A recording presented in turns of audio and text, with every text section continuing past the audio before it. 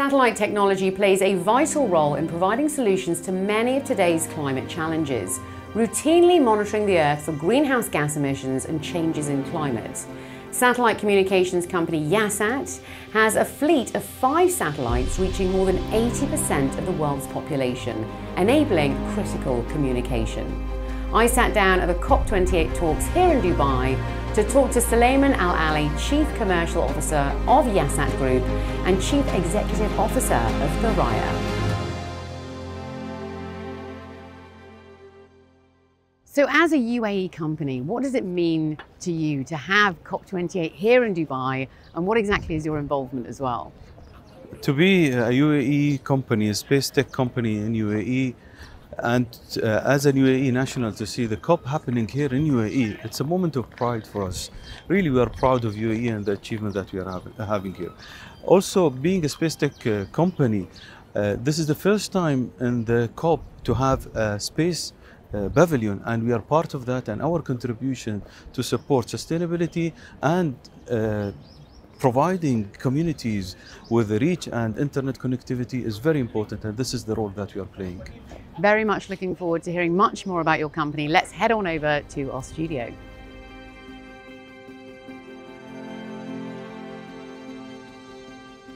Suleiman Al Ali, what a great pleasure it is to be sitting with you here at COP28. Thank you so much for joining us. Thank you very much. Thank you for hosting me.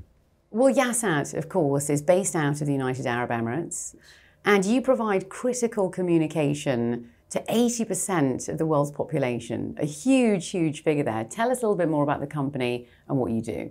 So, Yahsat was established in 2007. And in early uh, 2010, we launched two satellites uh, that was Al Yah 1, Al Yah 2. It was mainly for fixed uh, satellite services. And in 2018, it was a remarkable year for the group where we uh, launched our third satellite, Al Yah 3, and at the same time we acquired Thuraya. Thuraya have been UAE's first step toward space economy and space uh, industry overall. And it was the first satellite operator uh, in UAE uh, started in 1997 with uh, two satellites that added, uh, you know, made the, the, the group have five satellites between mobility services and between fixed services. We provide, as you stated, 80, we cover 80% of the world population and we cover more than 150 countries. And in our plan also with the launch of the new satellite that we are uh, working on for uh, 2024 Thuraya 4, we will be covering more uh, countries uh, in the coming years. The platform, or let's say the services that we provide, goes across uh, aero applications, we have uh, maritime application, and we have as well land applications. Uh, in terms of solution, there are huge variety of solutions goes between government application that is dedicated for government uh, specific application and also for commercial, being oil and gas, mining, uh, different different application, even for sustainability application that we have today. When we look at some of the climate challenges here, this type of technology is critical when it comes to these types of solutions as well. Can you give us any nice examples of some of the solutions that you you know provided to various regions that have been particularly affected by climate change? If we take some of the incidents that uh, that happened uh, during this year, and we have many of the incidents that happened before that, we had like a tsunami that hit Libya at that time. Uh, you know, Thuraya services were provided immediately uh, to establish the communication uh, and also when the earthquake hit Morocco, the, the, the, the fast response of uh, on the ground was really visible because we saw that because of our reach and because of our uh, availability uh, of let's say products in hand of the customer at the right time then all the people there they did not suffer from the loss of communication for a long time um, we have uh, some solutions if we will talk about solutions and how we are moving the company to be a space tech company and really contribute to the sustainability. So I will take an example of what we have showcased in GITEX this year where we presented five solutions. Uh, they mainly contribute to the sustainability of uh, of the environment. Uh, there was solution that support agri-tech. And we know that today water and the availability of water for drinking or for uh, agriculture is very important. And these systems are connected to satellite connectivity that will give some readings of the moisture of the soil and how uh, you know uh, these scopes need how much of water and when it need to be open and closed. Uh, wildfire detection integrated with AI that will detect exactly what kind of fire is behind that. And many many uh, solutions. Uh, uh, one of the solution was to support the maritime sustainability where you can track and monitor all the fishing activities that is happening within your region then you know the, the the timing that you want them to stop fishing to grow the the the, the, the marine life at that time or there are some uh, certain areas you want it to be restricted you know nobody uh, have to to fish in that area. So the solution will give you the access to understand and know where these fishing boats are uh, are moving. Truly breakthrough technology. Really you know upping upping the levels there. So the company also launched its new sustainability strategy, I hear. That was in 2022. Maybe you could give us a nice round idea of, of what exactly that is. So when we looked at uh, uh, at how to to really be able to uh, to move ahead with the challenges that we see from the market and um, uh, and all the challenges we see around us, we came up with with a really solid uh, sustainability strategy that have five pillars within uh, within it. We started with the governance within the company. We have to have a reliable governance. We have to provide our services to our uh, customers and to communities.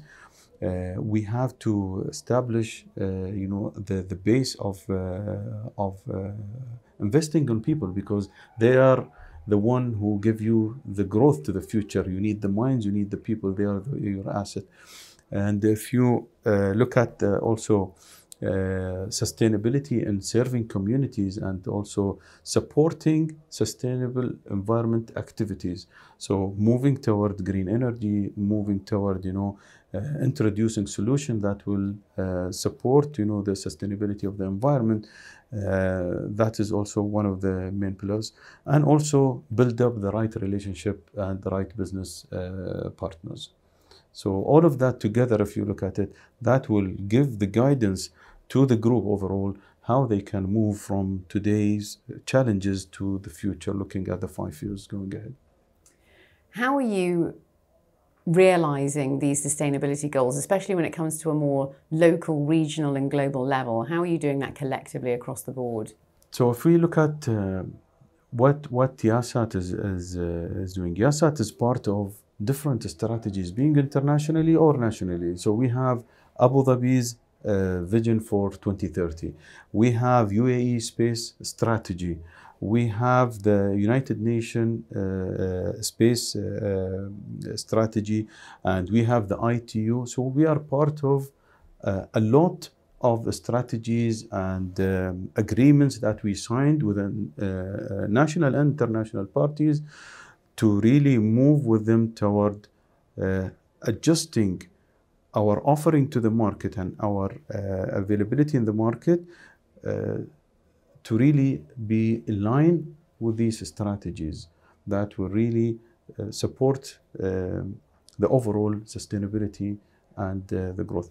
One important point here when we talk about sustainability, I think people will always try to think what does satellite company and the satellite operator have to do with the sustainability of the environment?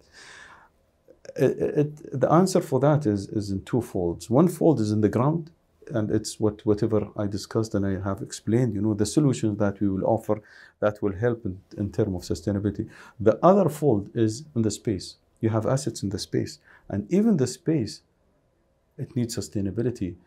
We we we are part of the ITU agreement, where this agreement, all the operators have to adhere to this agreement. They have to make sure that when the satellite reach the end of the life, they have enough fuel to send the satellite to the graveyard. So there is a lot of sustainability activities and efforts are done, done in the space to clean the space, to keep the space as a safe and uh, a clean environment and a sustainable environment for future generation. Because it's not only for us we need to think about you know 10 years from today as well and as you mentioned with this breakthrough ai forward thinking technology as well looking to the future what does the future hold where do you go from here maybe you could tell us a little bit more about thuraya 4 Okay, it's a, it's a very exciting question because uh, you know future is always uh, full of you know plans that we are working on it. It's not from today. It's it's many years of planning and action that we put together, uh, where we are just about to realize you know all the efforts that we put in the uh, in the couple of years past. Uh, and I'm talking about the whole team uh, really put a lot of effort in it, which is Thuraya 4. Thuraya 4 is a continuation of Thuraya's story. It gives trust to the investors, it gives trust to your customer that this company have a continuation story. So this is the message and this is what we want our customer and our investors to really look at. We have a plan and we are executing these plans. This will be launched in 2024 and at the time of launch this will be one of the most advanced L-band and mobility satellite in the whole industry. And with it, we will be launching a portfolio of product between commercial and government product that will serve many platforms, but it will have an extra capabilities than whatever we have today. So this is very exciting to, to, to, to us and to the management and, and also to the team and to the customer as well. Um, if we think about you know the mandate that we received from the government. It's a 5.1 billion dollar. Uh, it's one of the biggest deals in the whole satellite industry, uh, and it reflects trust as well. So this is the trust of the government in the company, and we have to uh, to really reflect that trust in reality by providing our customers in UAE and outside of UAE with the latest technology. And these are uh, satellites that will be launched in 27 and 28. And uh, we are really busy with a lot of activities. We are looking in parallel to that, we have two main pillars for growth of the Yahsat group, which is direct to device and IoT. Uh, the applications and the momentum in that area is going really uh, uh, in a fast pace and um, we will be looking at you know a lot of changes that will happen into uh, how people perceive the the, uh, the satellite communication and how easy it will be to implement satellite solutions in a day-to-day activities. What a truly exciting time for this, this sector specifically. And thank you so much for giving us such a brilliant update on everything you're doing and everything you're contributing to, especially when it comes to climate action. So thank you so much. Thank you very much.